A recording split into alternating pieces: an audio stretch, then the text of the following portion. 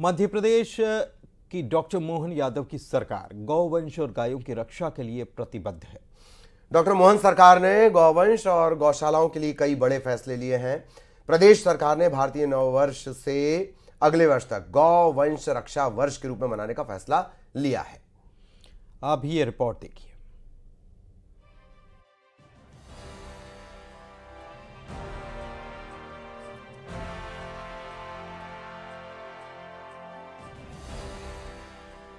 मध्य प्रदेश सरकार प्रदेश के विकास के लिए जितनी प्रतिबद्ध है, उतनी ही संजीदगी से सनातन संस्कृति और धार्मिक मान बिंदुओं के संवर्धन का कार्य भी कर रही है।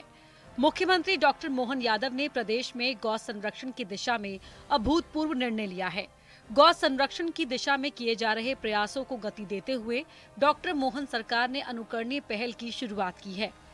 गौशालाओं के बेहतर संचालन के लिए उन्हें दी जा रही राशि में वृद्धि की जाएगी। गौरक्षा संवाद निरंतरता से होता रहेगा। उन्होंने विश्वास दिलाया कि गौ संरक्षण जैसे महत्वपूर्ण विषय पर विचार विमर्श की प्रक्रिया जारी रहेगी, ताकि गायों और गौशालाओं के बेहतर प्रबंधन के उपाय किए जा सके। हिंदू पंचांग के हिसाब से ये गो वंश रक्षा वर्ष के नाते से मना जाएगा। प्रदेश भर में जो अधूरी गौशालाएँ पड़ी हुई है, उन गौशालाओं को पूरा कराया जाएगा।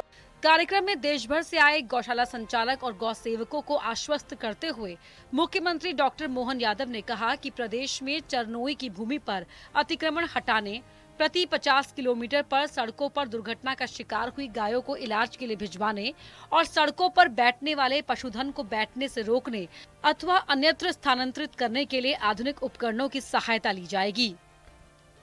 उन्होंने कहा कि गायों के लिए चारा काटने के उपकरणों पर अनुदान की व्यवस्था करने का काम भी मध्य प्रदेश की सरकार करेगी। पंचायतों को आवश्यक सहयोग और प्रेरणा के लिए गौ संवर्धन बोर्ड प्रयास करेगा। गायों के लिए गौशालाओं को प्रति गाय की राशि बीस रूपए से बढ़ाकर चालीस रूपए प्रदान की जाएगी। अधूरी गौशालाओं का निर्माण पूरा किया जाएगा।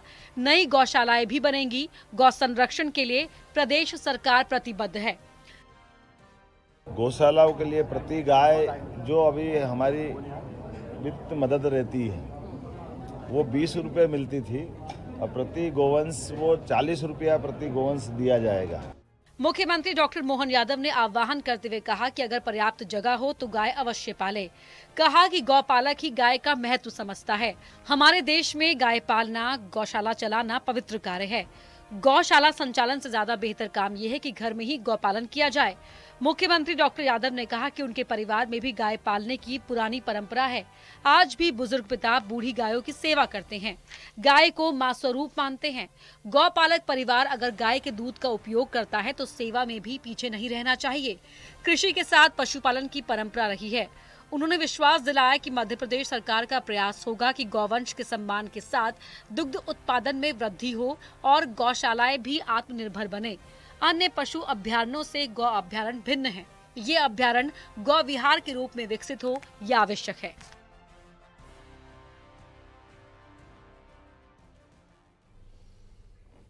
और बात महिला दिवस की, महिला दिवस के मौके पर सीएम विष्णुदेव साय दंतेवाड़ा पहुँचे। सीएम ने नक्सलियों को बातचीत का ऑफ़र भी इस दौरान दिया और इस दौरान बस्तर के लिए कई बड़ी घोषणाएँ की।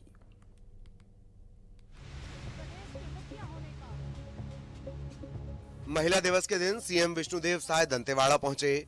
यहाँ सीएम ने नक्सलियों को बातचीत का ऑफ़र दिया। उन्होंने कहा कि हम उनसे कहना चाहेंगे कि नक्सलवाद को छोड़ें और आम लोगों का जीवन जिये संवाद करें। उनकी क्या प्रॉब्लम है? उनकी जो जायज़ मांग होगी, उसे सरकार पूरा करेगी।